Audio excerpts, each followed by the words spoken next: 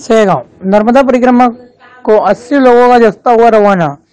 मुख्यालय पर मंगलवार को स्थानीय कृषि उपज मंडी प्रांगण से 80 लोगों का जस्ता नर्मदा परिक्रमा के लिए रवाना हुआ। 22 फरवरी से चालू हुई यह यात्रा लगभग 20 दिनों में पूरी होगी। इसमें महिलाएँ व बुज़ुर्ग शामिल है। यात्रा खरगोन कुंदा तट स्थित श्री गणेश मंदिर से प्रारंभ होकर सर्वप्रथम ओंकारेश्वर ज्योतिर्लिंग के दर्शन के बाद आगे प्रस्थान करेगी।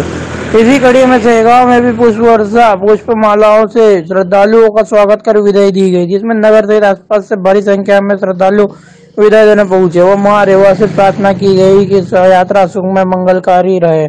सेगांव से जय गुप्ता की रिपोर्ट। लेटेस्ट खबरों से जुड़े रहने के लिए देखें हमारा यूट्यूब चैनल। करें लाइक शेयर सब्सक्राइब